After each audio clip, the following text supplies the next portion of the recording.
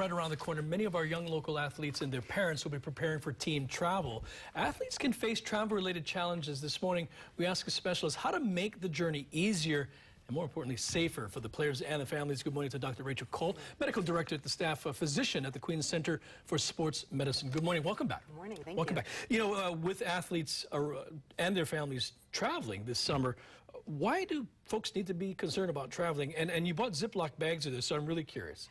So one of the things that uh, we can, we're concerned about as physicians with the travel is how exhausting it is. Right. So that fatigue actually has been shown in recent research to have an effect on both performance as well as the risk of injury. So it's critically important for the athletes who are out there trying to perform. That's really their job while they travel. So how can we prepare for traveling? I mean, you can't, I mean, not just do it, because sometimes we get so caught up in logistics.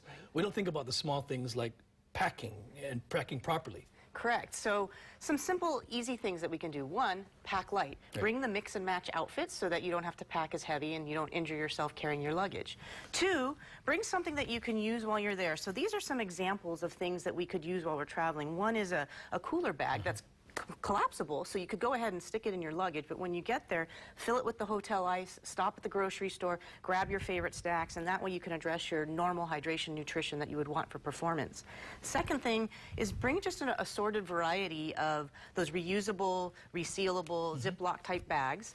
And in different sizes, you can use them for different things. So the wet clothes from the thunderstorm you get caught in, or ice, fill it with the hotel ice Right. and treat an injury. You can even throw oranges in there. I mean, think about uh, light snacks. And, and you, we have some information on the back of our screen. What, it's about what, sh- how should athletes pack?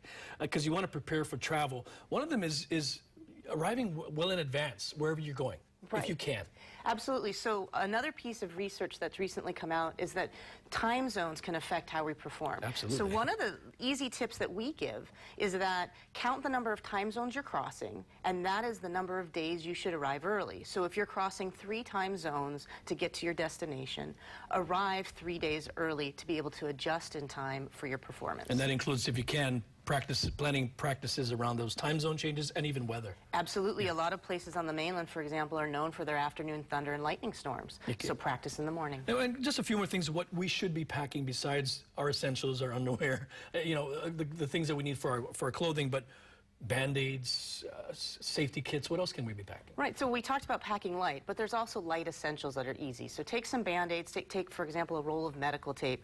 Um, even, uh, for example, we have people take those USB uh, reusable chargers, and so that when your video camera or your phone runs out on the sideline, something easy that you can plug in, recharge.